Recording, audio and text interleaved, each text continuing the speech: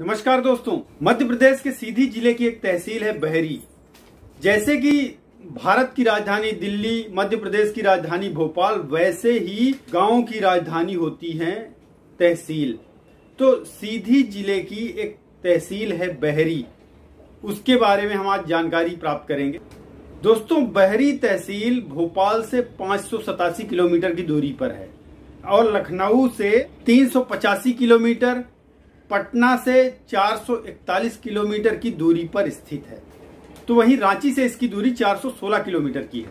दोस्तों बहरी तहसील की समुद्र तल से ऊंचाई दो सौ बहत्तर मीटर यानी कि आठ फीट की। यहाँ की जनसंख्या 7,800 के आसपास है। यहाँ की भाषा जो है वो बघेली है और वाहन पंजीकरण संख्या एमपी तिरपन है।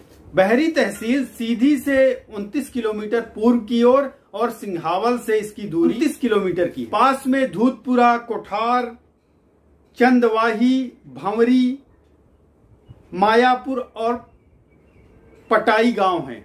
बाहरी तहसील जो है सीधी ज़िले की बाकी अन्य तहसीलों की अपेक्षा सीधी ज़िले में कुल सात तहसील है तो बाकी छह तहसीलों की अपेक्षा थोड़ा सा कम डेवलप्ड है। क्योंकि यहाँ पर आदिवासी बहुल लोग रहते हैं। यहाँ आसपास छोटी मोटी दुकानें स्कूल कॉलेज और छोटे मोटे घूमने के स्थान भी हैं, वो भी मैं आपको बता देता हूँ। यहाँ पर हर वो छोटी मोटी सुविधाएँ मिल जाती है जो आम लोगों की ज़रूरत बनती है। जो स्कूल कॉलेज है, वो टाटा कॉलेज है, भोज मुक्त विश्वविद्यालय है R I T college, Deosar, और यहाँ सरकारी और गैर सरकारी स्कूल भी कई सारे हैं। जैसे कि नीलकंठ स्कूल बाहरी, अमन कॉन्वेंट स्कूल, सरस्वती शिशु मंदिर, और गोल्डन स्टार स्कूल वगैरह वगैरह ऐसे।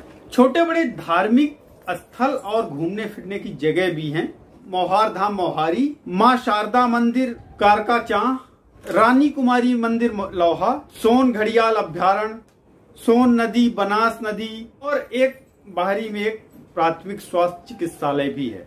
ये छोटी सी जानकारी दोस्तों बाहरी तहसील के बारे में थी, जो कि सीधी ज़िले के अंतर्गत आती है। अगर आपको वीडियो पसंद आए तो वीडियो को लाइक अवश्य मार दें और चैनल फाइंड हो को सब्सक्राइब कर लीजिए। धन्यवाद।